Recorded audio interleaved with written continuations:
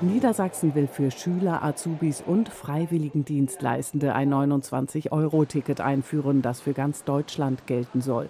Die bisherigen Schülertickets beschränken sich nur auf einzelne Regionen in Niedersachsen. Wir haben in einem ersten Schritt sehr erfolgreich das äh, Deutschland-Ticket auf den Markt gebracht. Das zeigen jetzt die Zahlen auch im Juni. Wir haben bundesweit 11 Millionen Tickets verkauft. Das ist eine richtige Erfolgsgeschichte. Und äh, wir haben uns hier in Niedersachsen darauf verständigt, dass wir eben dann ein rabattiertes Deutschland-Ticket äh, für Schüler und Azubis auch äh, anbieten wollen. Und das ist das Ziel, da im Sommer 24 mit ersten Gruppen starten zu können. Die Landesregierung will jetzt mit den Kommunen und Verkehrsbetrieben Gespräche aufnehmen.